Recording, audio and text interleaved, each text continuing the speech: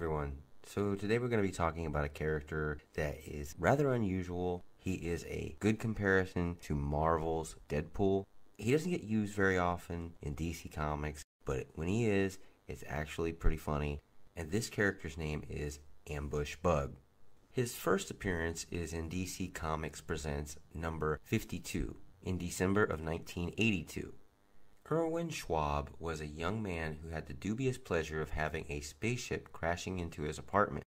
The ship was owned by the late hero Brum-El of the planet Schwab, who had escaped the destruction of his homeworld but crash landed on Earth after being attacked by a radioactive spider.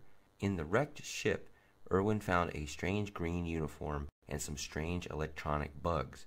When trying the uniform on, he realized that it was now stuck on him However, he also realized that he now had the ability to teleport just about anywhere.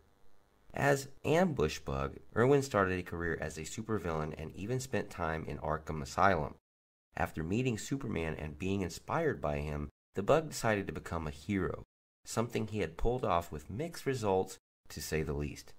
On one of his missions, the bug found a castaway baby doll, whom he adopted as a son, gave a costume, and made them his useful sidekick. Cheeks the toy wonder. These days, the bug is even less of a hero and basically more of a whining misfit. Ambush Bug is one of the few denizens of the DC universe who knows that he is a comic book character, which is also why several of his exploits are regarded as non canon. Madness and oddities are certain to follow in his tracks, and most other heroes avoid him the best that they can. The one exception apparently being Plastic Man, who even invited the bug to join his short lived Justice League of Anarchy.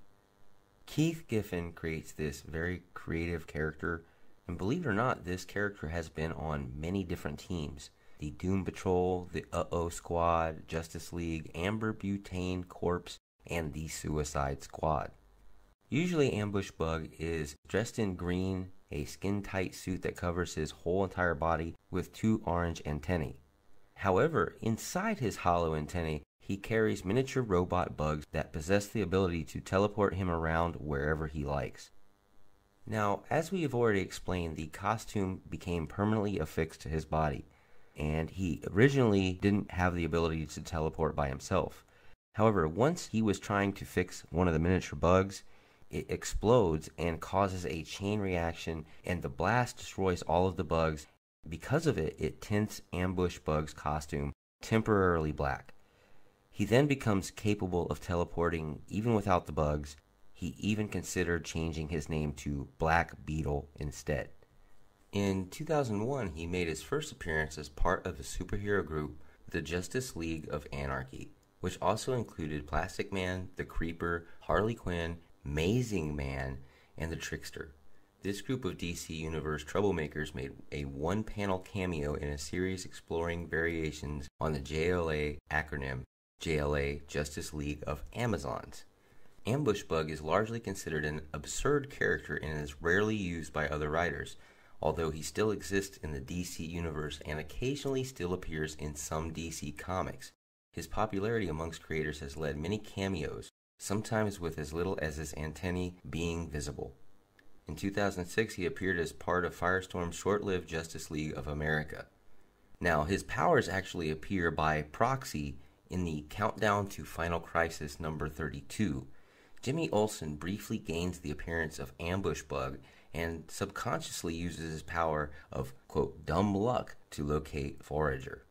Now, Ambush Bug's powers and abilities are usually just being weird and being kind of Deadpoolish in the DC universe, so to speak.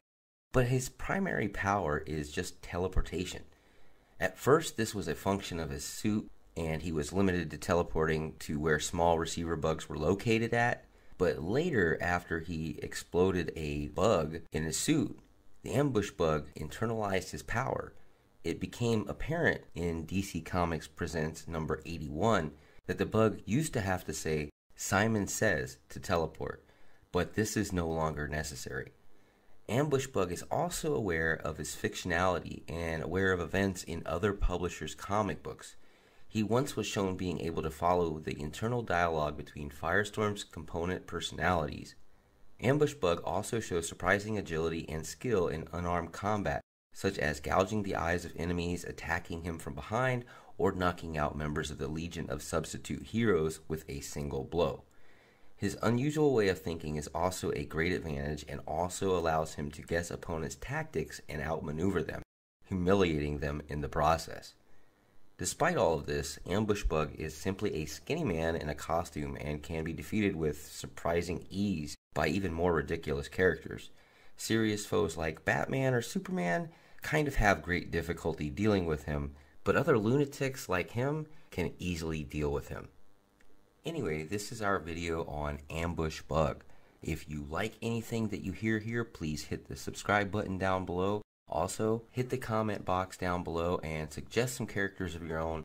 Tell us what character, weird, wacky, or otherwise, in any fictional universe, let us know what you'd like us to talk about, and we'll do it here on Review with You. As always, Excelsior, see ya.